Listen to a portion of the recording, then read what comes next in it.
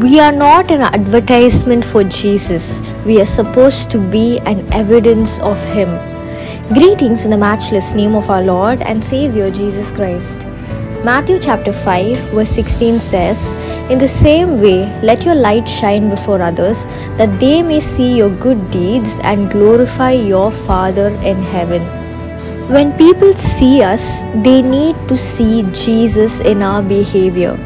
It is not just about posting Bible verses or making spiritual reels or just praising God on Sundays and leading worship.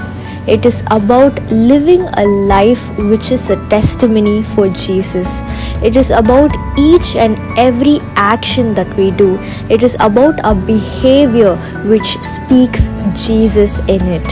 So, let us start living a life of testimony so that when people see us, they see Jesus through us. Let us pray. Loving Heavenly Father, thank you for this day. Lord Jesus, today we ask you, Father God, to help us to live a life of testimony, to help us to show your love to all the people around us so that when they see us, they may see you in us. In Jesus' mighty name we pray. Amen. Have a blessed day. God bless you.